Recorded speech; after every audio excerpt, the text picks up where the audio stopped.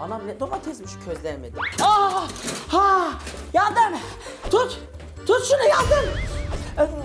Şimdi anam daha tatlı yok ya ortada. Murat abi sofra hazırlanmadı daha.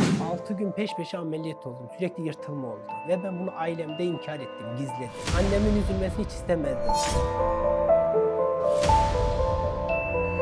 Söyleyemiyordum ya ailem üzülmesini istemiyordum.